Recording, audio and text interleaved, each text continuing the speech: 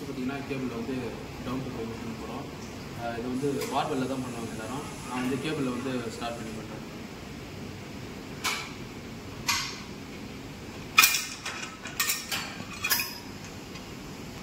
கம்பிகர் வந்து மேலே வச்சுருக்கேன்.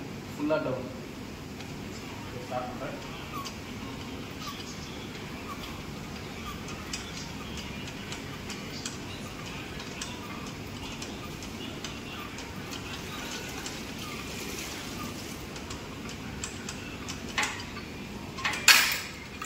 ஸோ ஃபஸ்ட் செட் வந்து முடிச்சிருக்கேன். செகண்ட் செட்டு வெயிட் இன்க்ரீஸ் பண்ணுறேன் சிங்கிள் சிங்கிள் பிளேட் தான் வந்து இன்க்ரீஸ் பண்ணுறேன்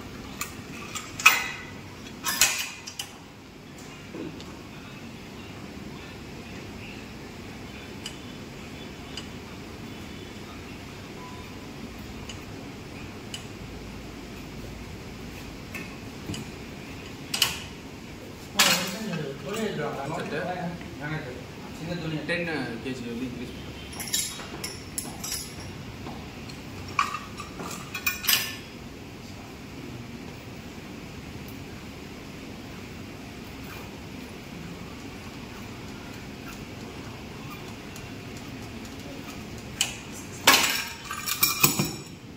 அதான் நைஸ் மூணு செட்டு வந்து முடிஞ்சிச்சு. ஸோ லைட்டாக வந்து மசில் ஆக்டிவிட்டி தெரியுது. நான் வெயின்லாம் வந்து வெளில தெரிஞ்சுக்கிறேன் ஜஸ்ட் ஸ்டெச்சு இந்த தம் ஃபிங்கரோட இந்த ஃபிங்கர்ஸ் மேலே வச்சு கையை ஸ்ட்ரைட்டாக வச்சு மேலே ஒரு புஷ் அகெயின் ஆல்டர்னேட்டிவ் ஆகும். அகெயின் டவுன் தம் ஃபிங்கரை பிடிச்சி. லைட்டாக மட்டும் மசில் ஆக்டிவிட்டி தெரியும். கொஞ்ச நேரத்தில் அந்த பெயின் வந்து ரிலீஃப் ஆகிடும் பட் ஆனால் உங்களுக்கு அந்த மசிலோட ஃபீல் வந்து உங்களுக்கு தெரியும். பாருங்க.